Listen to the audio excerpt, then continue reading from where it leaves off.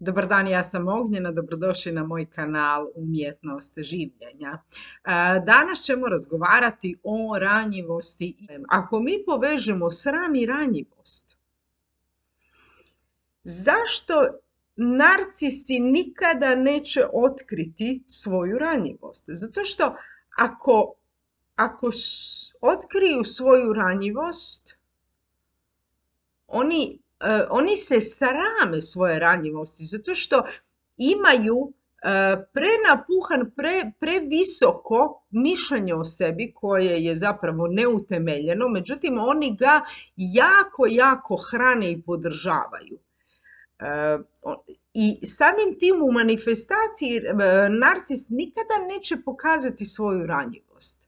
Jer ako pokaže svoju ranjivost, mora pogledati u sebe, ako pogleda u sebe, vidjet će sram. Međutim, šta je tu posljedično problem? Upravo ranjivost je temelj intime. Ako neću biti ranjiva, ja ne mogu biti niti intim, ja ne mogu graditi intimu sa drugom osobom. Što dalje znači da sa narcisima ne postoji intima.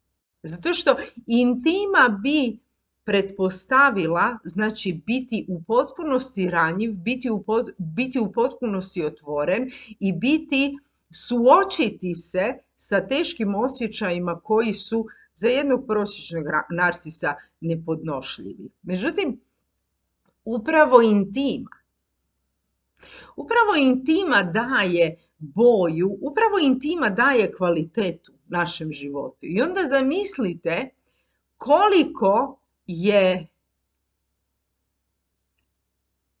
ranjiv, koliko je, e, koliko je bespomoćan taj njihov ego kada ga moraju toliko, toliko štititi da de facto se odreknu života, a zarad branjenja upravo tog ega. I to je možda najveća osobna tragedija. Naravno, narcisi toga nisu svjesni i oni će svim silama znači braniti ispravnost svog pristupa, oni će svim silama braniti ispravnost svog načina funkcioniranja zato što samo dopustiti sebi mogućnost pogreške njima znači možda vršni osobni poraz. I tu dolazimo jel, do priče o Dorijanu Greju do te problematike. Tako da,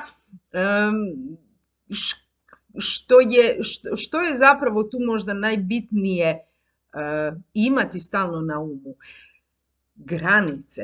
Granice nama pomognu jel, razaznati čije osjećaje doživljavamo i granice nas zaštite od projekcije tuđih osjećaja. Narcisi projiciraju jel, svoje osjećaje koje ne mogu, eh, u koje ne mogu pogledati, s kojima se ne mogu suočiti. I zato se mi uz narcise u biti uvijek osjećamo loše. To nisu naši osjećaji.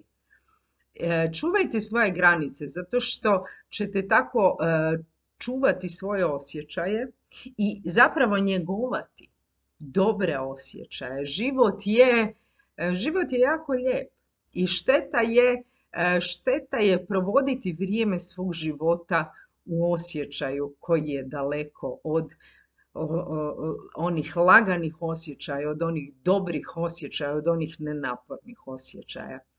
Uživajte u životu i dajte si nešto lijepo. Hvala vam svima na ovom razgovoru, hvala vam na vremenu, hvala vam što me pratite, pretplatite se na moj kanal, pratite obavijesti, ako želite raditi sa mnom, pošaljite mi mail, a do sljedećeg razgovora budite mi zdravo, dobro i veselo. Ćao!